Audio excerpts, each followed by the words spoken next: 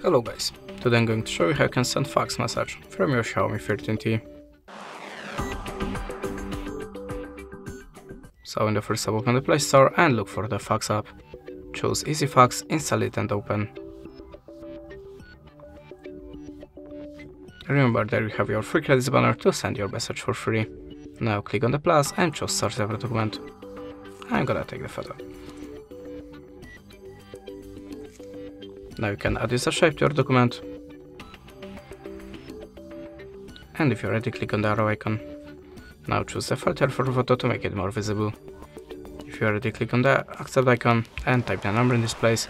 Choose the country from the list and to send the message, just click on this button. That's it. Thanks for watching, leave us a like comment and goodbye.